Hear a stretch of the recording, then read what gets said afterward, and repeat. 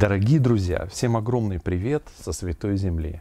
Сегодня в Иудейской пустыне, в окрестностях Иерусалима, стоит небывалая жара, плюс 36 градусов по Цельсию. Представьте себе, 5 ноября такая страшная жара. Вот у нас термометр здесь висит сверху, и он показывает. И также сегодня 30-й день войны в Израиле. Войну Израиль объявил после кровавого вторжения террористов из Газы на территорию Израиля. По Израилю со стороны сектора Газа было запущено свыше 7,5 тысяч ракет. За несколько дней в начале и до, до сегодняшнего момента Израиль понес страшные потери. 1400 убитых мирных, среди которых более 300 военнослужащих, представителей полиции, пограничников и пожарных. До сих пор некоторые тела не опознаны. Израиль атакует ракетами, в том числе йеменские повстанцы Хутии. С расстояния почти полторы тысячи километров. Они бьют южнее Саудовской Аравии, и почти тысяч, полторы тысячи километров. К счастью, все ракеты сбиваются израильской системой противовоздушной обороны ХЭЦ-3. Атакуют также Израиль со стороны арабских соседей, государств Сирии и Ливана. Из Ливана летят ракеты от террористической группировки Хизбалла. Это другой, кроме Хамаза, сателлит Ирана. Израиль принял беспрецедентные меры по эвакуации целых городов и поселков на севере Израиля. Город на севере Израиля, например, Кириат Шмона, с населением примерно в 25 тысяч человек, был эвакуирован полностью. На юге полностью был эвакуирован город Сдерот с примерным населением в 27 тысяч человек. Эваку... Эвакуированные беженцы расселены по всему Израилю. Многие отели Русалима, Иллата, а, Мертвого моря предоставили беженцам свои номера. В стране объявлено военное положение. И армия обороны Израиля практически действует на четырех фронтах. Основные ареалы боевых действий происходят на юге, в районе сектора Газа где уже несколько дней наша армия успешно проводит наземную операцию. До этого по террористической э, инфраструктуре Хамаса в секторе Газа наносились удары с воздуха. Сам город Газа блокирован армией. Сейчас верхушка военного и политического крыла Хамаса собралась в подземных бункерах больницы Шифер. Израильские танки уже стоят на расстоянии буквально двух километров от этой больницы. А мы сегодня продолжим разговор о становлении Израиля. Расскажем вам некоторые истории из жизни, которые достаточно, в общем-то, интересны и показательны. Израиль стереть с лица земли. У него нет прав на существование. Захлебываются в ненависти и строчат комментаторы. А может, им все равно, может, просто они отрабатывают свои 30 серебряник, Серебренников, как под копирку пишут, евреи с 1947 года убивают тысячами арабов, изгоняют со своих земель, занимают их дома, ну и много чего еще сделали эти страшные ужасные евреи несчастным беззащитным арабам-палестинцам. Это такой нарратив массово, который сейчас проходит в комментах. А может быть, это идеологи... часть идеологической войны и пропаганды террористической группировки Хамас. И люди не понимают сами, да и СМИ многие не понимают, что они становятся заложником этой идеологии, практически заложником пропаганды террористической группировки. Здесь нужно быть очень внимательным. А еще мне нравятся такие комменты, напоминающие сказку про зайку и лисичку. Что лисичка неоднократно встречается. Вот лисичка пришла, попросилась в дом к зайчику, зайчик ее пустил погреться. Лисичка съела зайчика и дом его заняла. Но это все в отношении э, Израиля и Палестины. Я хочу сейчас вам зачитать. У нас есть в доме книга нашей библиотеке Марка Твена «Простаки за границей». И вот я там, что касается Палестины, как она выглядела в 1868 году, я сейчас вам зачитаю. Это интересно. Э, Тысяча... Да, да, вот он писал. «Над Палестиной тяготеет проклятие, которое иссушает ее поля и сковывает ее силой. Назарет заброшен. Там, где, перейдя в брод Иордан, ликующие толпы израильтян с пением вступили в землю обетованную, теперь видишь лишь убогий лагерь бедуинов». Дальше в том же духе он рассказывает о Берехоне, Вифлееме, Капернауме и Магдале. Не встретишь там ни души, ничто не радует глаз. И даже прославленный Иерусалим утратил былое величие и превратился в нищую деревню. Палестина – край заброшенный и неприглядный, делает свое заключение автор. Да какой она может быть, если земля проклята Богом, разве может это ее украсить? Это непредвзятый взгляд со стороны. это состояние Палестины в 1868 году. А еще у нас есть одна книга, уже написана в 1800 36, в 1936 году написал ее журналист Ладзинский, который прибыл тоже на Святую Землю в 1936 году, помнишь? Он был редактор э, парижской иммигрантской газеты, Да. известный достаточно журналист своего времени. И, в общем, тоже довольно-таки непредвзятый взгляд. Это уже практически прошло там, 70 лет. И он показывает, как выглядит Палестина уже в 1936 году. В частности, вот мы сейчас тоже взяли э, его прям целую выборки из его главы об Израильской долине. И сейчас тоже мы, вот мы вам Это зачитаем. недалеко от горы Фавора, кстати. Да, кто был, тот знает. Вот что пишет в своей книге «Путешествие в Палестину в 1936 году» э, журналист Ладинский. Ее плодородные земли лежат на месте осушенных болот. Много труда потребовалось вложить в это дело. Лет 70 тому назад пытались сделать то же самое немцы и арабы, оставили на соседнем кладбище не один десяток людей, скошенных малярией, но не могли справиться с трудной задачей. Евреи были более удачливы. Огромных средств потребовало осушение вонючих болот, которые наполнялись водой из соседних возвышенностей. В 1921 году евреи проложили 18 километров дренажных бетонных труб от 20 до 50 сантиметров в диаметре и справились с вонючей и малярийной природой болот. Воду отвели в реку Кишон. Теперь горные источники питают поселок здоровой питьевой водой и орошают поля и пардесы. Необходимое средство дали сионистские организации. После первого арабского завоевания в VII веке и до 20 века долина была в полном запустении. Лишь бедуины кочевали здесь, по болотистой малярийной местности. И в 1910 году здесь была основана группа еврейских поселений. На самое первое. Да, земли в долине а, начал покупать у турецких землевладельцев известный человек Иешуа Ханкин, собственность компании по приобретению земель. И с 1921 года начинается активное заселение евреями этих земель. И вот уже в 1936 году ее увидел журналист. И вот опять цитируем. Защищенная со всех сторон, это он говорит об этой долине, она цветет, как оранжерея среди пустынь. Огромное еврейское хозяйство, место, на котором положено столько еврейских трудов и денег. Какой была вообще самая первая проблема, которая возникла в отношениях евреев и арабов? Дело в том, что когда евреи покупали землю, это было как бы ну, два вида да, земельной собственности. То есть была земля, которая не обрабатывалась никак, и евреи ее покупали без проблем у феодалов, да, э, арабских землевладельцев. А была и земля, которую брали в аренду у тех же арабских землевладельцев. И вот когда евреи покупали именно эту землю, то получается, что арендаторы теряли работу и много рабочих мест, и приходилось как бы ближайшие такие э, поселки, просто они уходили с этих, из этих мест. Вот такая первая проблема возникла, что арабские рабочие теряли свои рабочие места, ну и, соответственно, маленькие деревеньки, которые организовывались вокруг вот, вот этих земель. Поскольку евреи хотели сами обрабатывать эти земли, то арабские арендаторы и их рабочие при покупками евреев этой земли лишались дохода, были вынуждены оставлять свои поселки. В конце 1920-х годов в Хайфе шейх из один Аль-Касам, уроженец Сирии, создал подпольную военизированную группу, вербуя и проводя военную подготовку арабских крестьян с целью создания подпольных ячеек, ставивших своей целью борьбу э, с британским мандатом и, конечно же, еврейской общиной. Причем под горячую руку попадали не только евреи и англичане, но и умеренные арабы. Сегодня именем шейха названы боевые отряды движения Хамаса. И, э, ну и название ракет Касамы тоже это ему посвящение этому вот персонажу. Кроме него были и другие лидеры, возглавившие так называемую национальную освободительную войну. Вот и впоследствии начались нападения и убийства в еврейских поселениях, что вызвало необходимость военной защиты и создания военизированных еврейских отрядов самообороны. Вскоре рост напряженности в регионе вылился в масштабное трехлетнее арабское восстание, в результате которого жизнь во многих еврейских поселках была полностью прекращена. Одну из ключевых ролей в этом сыграл назначенный в 1921 году муфтием Иерусалима Мухаммад Амин Аль-Хусейни.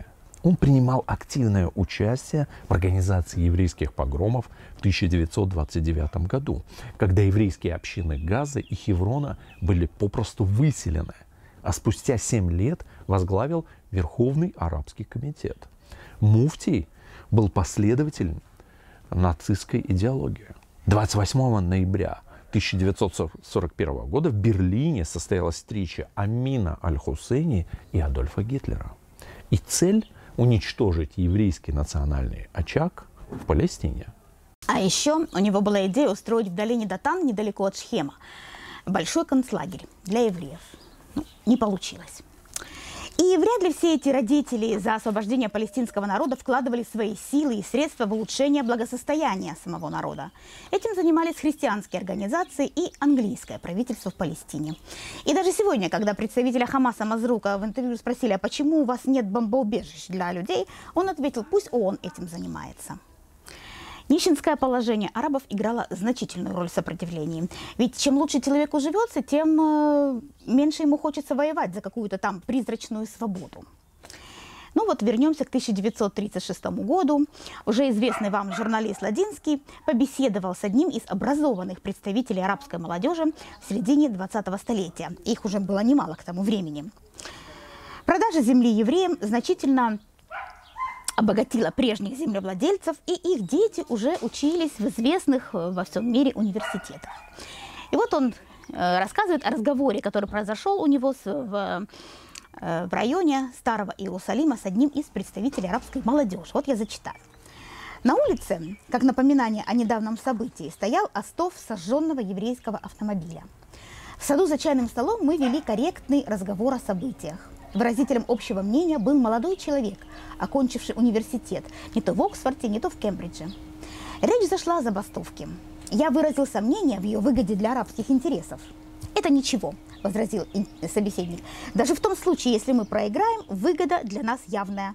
Опыт, спайка сознания, что мы при случае сможем опять за себя постоять». Опять я увидел, что стою перед неразрешимой задачей. Примирить то, что говорил этот молодой человек, со стремлениями и задачами сионизма было невозможно. Два мира. Мне рассказывали с гордостью, как арабские девушки шли под английские пули, как мальчишки надевали на головы тарелки, плоские английские шлемы, они похожи на тарелки, и дразнили шотландцев. Как какой-то не пожалел себя и пошел на верную смерть. А исчерпав все свои аргументы, молодой араб отрезал. Дело вот в чем. Я живу в своем доме. Дом может быть грязный, неустроенный. Приходит чужой человек и говорит, как вы можете жить в таком доме? Позвольте, я его устрою, а я не хочу, чтобы распоряжались в моем доме. Придет время, и я сам в нем наведу порядок. Дело было даже не в его словах, а в выражении глаз, в страстности, с которой собеседник говорил об арабо-еврейской тяжбе. Тут примирения быть не могло. Много таких? Думаю, что много. Во всяком случае, утверждение, что ведут борьбу только вожди Мулы и Финди, которые боятся потерять влияние на темные арабские массы, не лишено некоторого оппортунизма. Массы темны, но их уже начинают забирать в свои руки не мулы, а вот такие интеллигенты, вроде моего собеседника. Такой враг, пожалуй, даже опаснее мулы. Вот почему очень трудно сказать об окончательной победе сионистского опыта в Палестине, заключает журналист.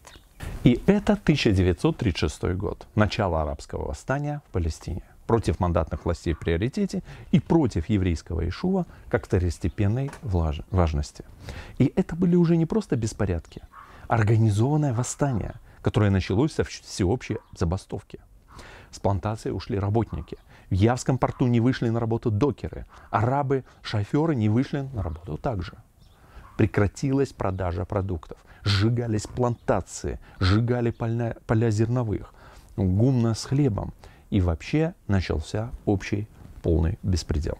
И что интересно в результате получилось? На фоне арабского восстания большинство евреев пришло к идее, что пора создавать свое государство и как можно быстрее. Чтобы утихомирить арабскую сторону, создавались всевозможные комиссии. Арабы их игнорировали, евреи всегда ходили исправно. Но все-таки в какой-то момент э, муфтий пришел на прием. И что интересно, комиссию поразили хозяйственные успехи сионистов. Это успешно действующее мероприятие. И на фоне этого выросло благосостояние арабов. Много положительных сторон отметила комиссия. В чем же искать секрет арабского сопротивления? Арабы не требовали лучшей жизни для себя. Им была нужна национальная независимость и, соответственно, уничтожение еврейского Ишува. И тогда созрела э, идея разделения на два государства. Евреям отводилась одна пятая часть земли. Обратите внимание, то есть 1936 год, и евреям уже по комиссии, тогда англичане пришли, проверили все, что происходит, и решили, что да, необходимо. Нет ничего иного, как создание двух государств, и евреям выделили одну пятую часть земли. И это первое решение о разделе территории подмандатной Палестины. Но арабские лидеры, конечно же, отвергли решение комиссии Пиля. Восстание продолжалось. В марте 1937 года арабы напали на машину, убили шесть евреев, молодую женщину изнасиловали и изрезали на куски. И тогда Эцель военизированная еврейская организация получила согла- согласие на отмену сдержанности. Да, до, до этого евреи до этого сидели... евреи были в глухой обороне, ждали только, когда их нападут и так далее. И начался еврейский террор. Восстание в любом случае подавили. Вышла катастрофическая своим содержанием для евреев третья белая книга с запретом для евреев покупки земли и ограничениями на иммиграцию. Политически англичан, англичанам на тот момент было выгоднее, конечно же, уступить арабам. Но, как всем уже известно, в 1947 году он принял все-таки резолюцию о разделе Палестины. А перед этим в Палестину приехала комиссия ООН с представителями 11 стран, многие из которых были таки на арабской стороне. Евреи показывали свои достижения. Ну и действительно им было чем к тому времени гордиться. Арабы вообще отказались встречаться с комиссией. И даже представитель мусульман, иранец, также не получил встречи с представителями палестинцев. Он раздраженно в частном разговоре сказал, что землю надо всю отдать евреям. Они из этой земли сделают райский сад, а арабы все загубят.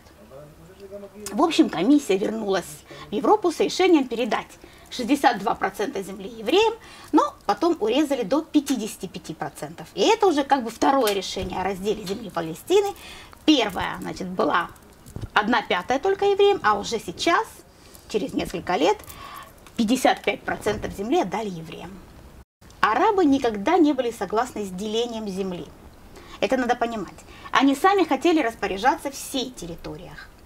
И накануне голосования Джамаль Аль-Хусейни, который исполнял обязанности председателя Верховного Совета, а, вернее, Высшего Арабского Совета, заявил, Палестина будет охвачена огнем и кровью, если евреи получат хоть какую-нибудь ее часть.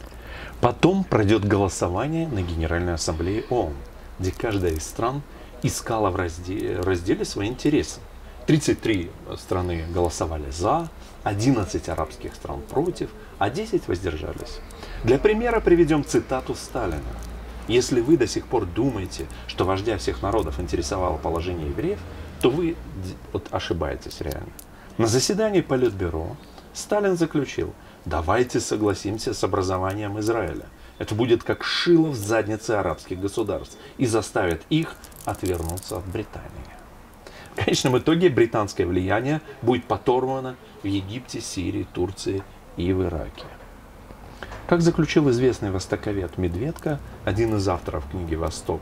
Дело близкое», Иерусалим святое, выпуска 2009 года, битва за выживание Израиля переросла в битвы за нефть, базы и плацдармы, пока не вылилась глобальную антитеррористическую войну за выживание всего человечества.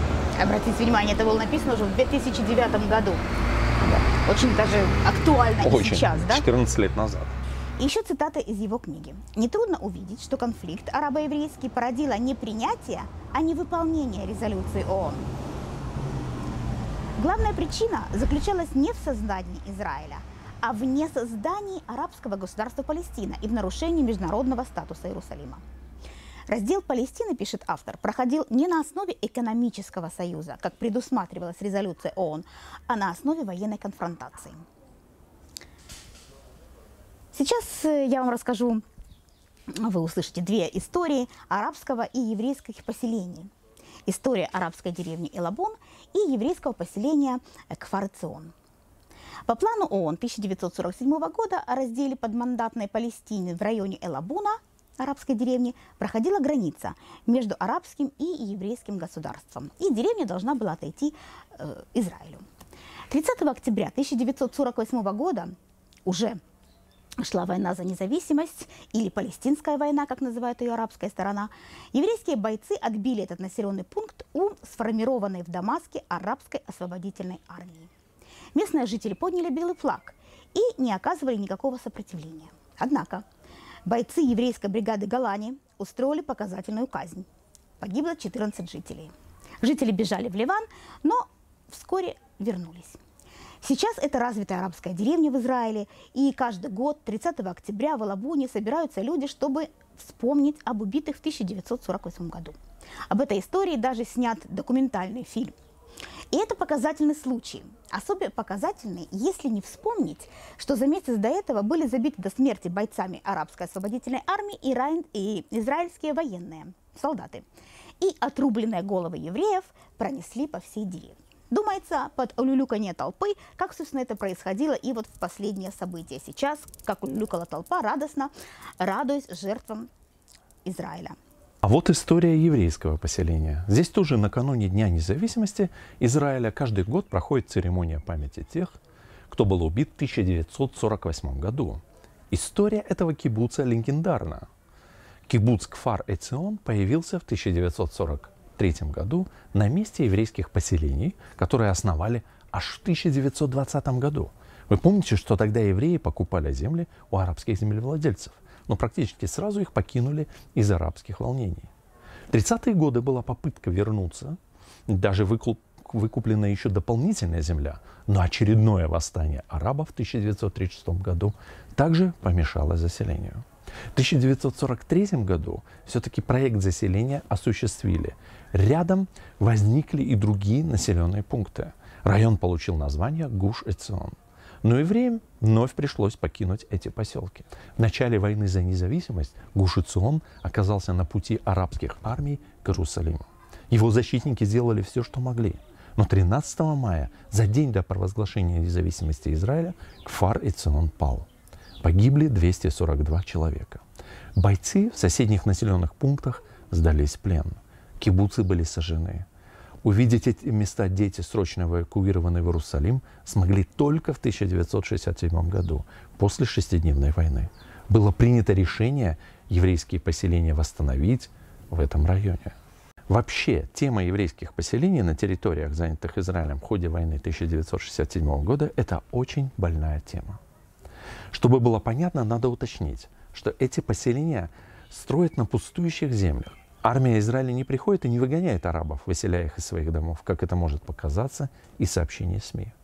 Более того, если радикальные поселенцы, а есть у нас и такие, захватывают земли, на которых у палестинцев есть задокументированное право, как частная земля, та же армия Израиля выдворит поселенцев из их домов и дома разрушит под проклятие поселенцев, что уже происходило. Участились случаи нападения радикальных поселенцев на арабские села, правда, в отместку за убийство в терактах. Мы постоянно слышим о терактах против евреев на дорогах, которые соединяют арабские и еврейские поселения и города в Иудее и Самарии. Бросание камней по машинам, прямые наезды на стоящих в ожидании автобуса людей или обстрелы из проезжающих мимо автомобилей. Это частые случаи, и все это происходит в районе Иудеи и Самарии.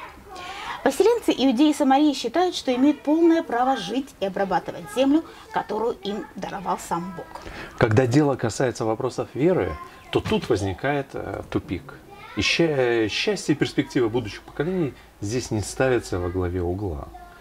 А при этом, как пояснил израильской газете «Гаарец» доктор Немрод Рослер из Тель-Авивского университета, обе стороны в подавляющем большинстве случаев, 84%, считают себя исключительной жертвой, что побуждает каждую сторону поддерживать насильственное решение.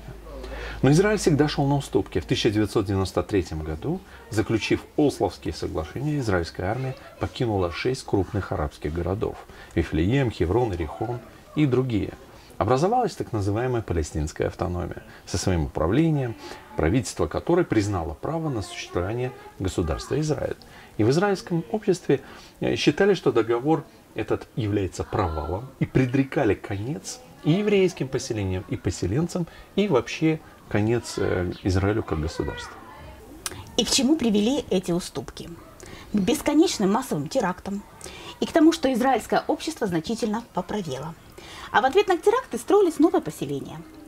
Но арабы поняли, что если Израиль, вернее, израильское правительство подпишет договор, то с нарушением, с задержками, но все-таки выполнит свои обязательства.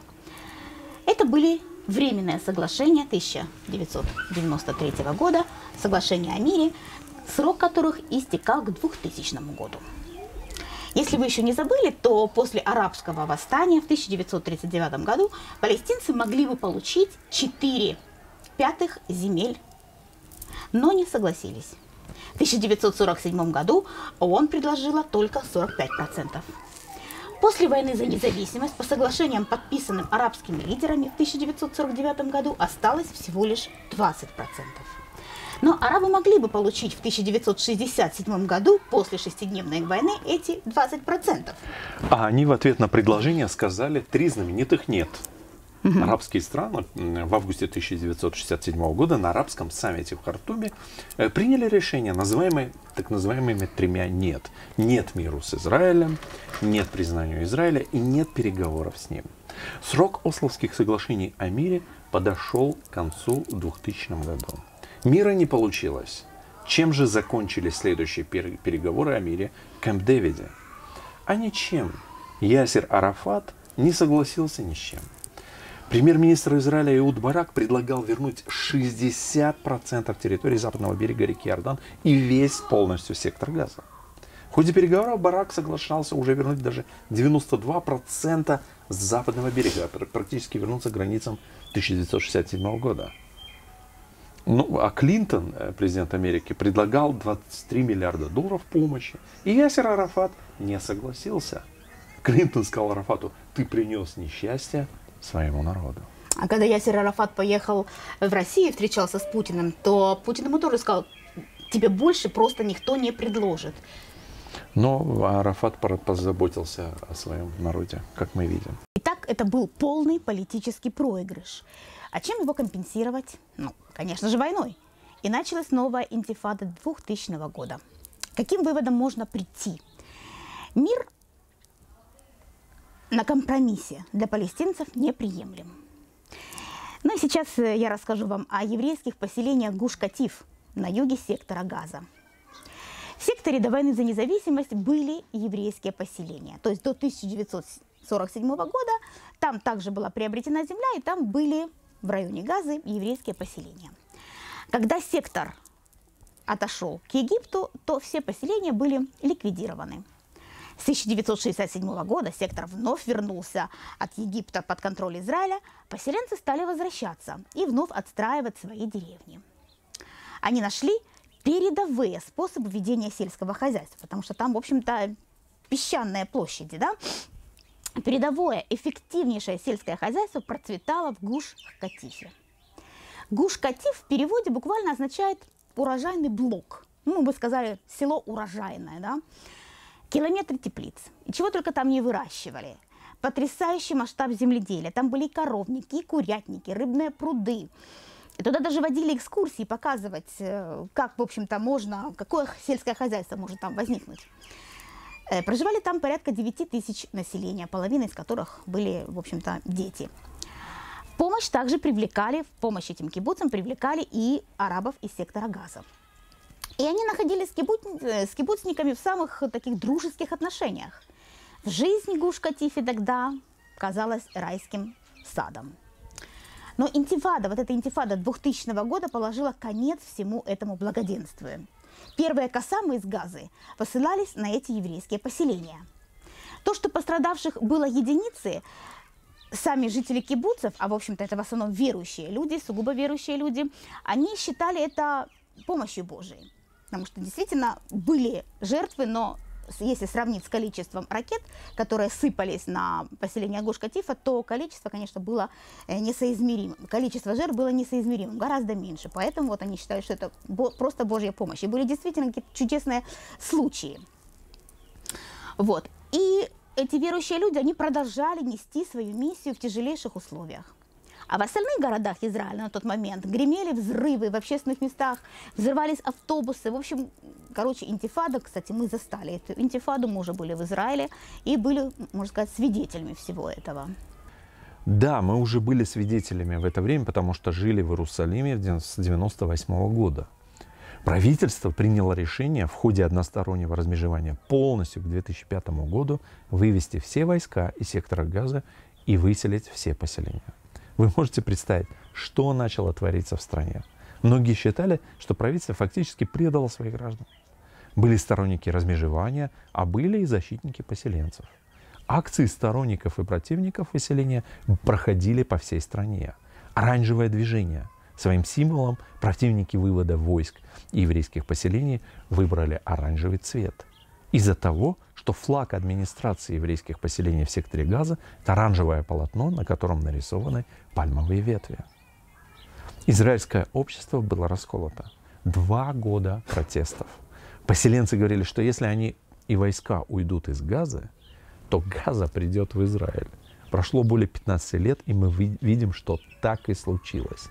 Ракеты из газа летят уже по центру страны. Для выселения людей призвали армию. Это было ужасно.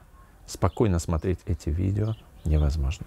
Молодым солдатикам приходилось вытаскивать рыдающих, цепляющих за стены и двери домов своих соотечественников. Как чувствовали они себя при этом? Евреев полностью выселили из сектора газа. Евросоюз попросил, попросил не уничтожать теплицы, оставить все для арабов.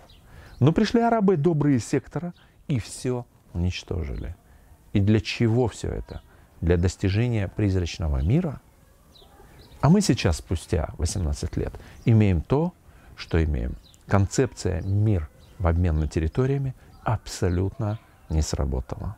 Доказательство – беспрецедентное нападение на мирных жителей приграничных еврейских поселков и начала войны 7 октября 2023 года.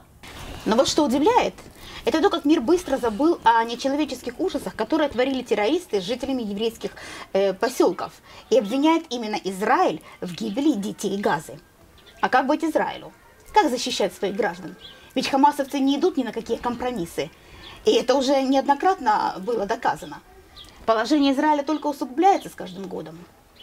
Из комментариев э, к видео можно понять, что многие даже и не верят в то, что происходило в Израиле. От последнего подтвержденного официально случая просто невозможно прийти в себя. Объявили совершенно официально, что был найден труп связанный изнасилованной матери и ее грудного младенца, которого запекли в духовке. Представляете, до, до чего можно было дойти? И это как бы один из случаев, которые происходили там.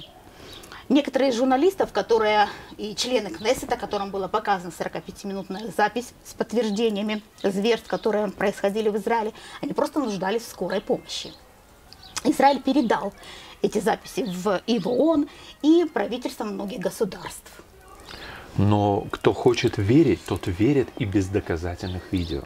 А те, кто хочет оставаться закрытыми глазами, и подлинную запись назовут фейком.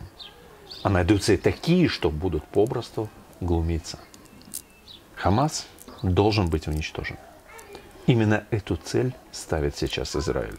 Нельзя идти ни на какие договоренности и компромиссы. Потому что с лидерами Хамаса договариваться невозможно. Они выпрашивают перемирие, получают передышку, и все начинается сначала.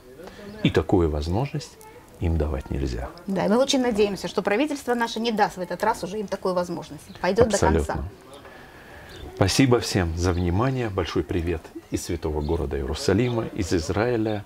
И до следующих встреч. Всего доброго. Всего хорошего. Будьте все здоровы и счастливы. Всем мирного, мирного неба. неба.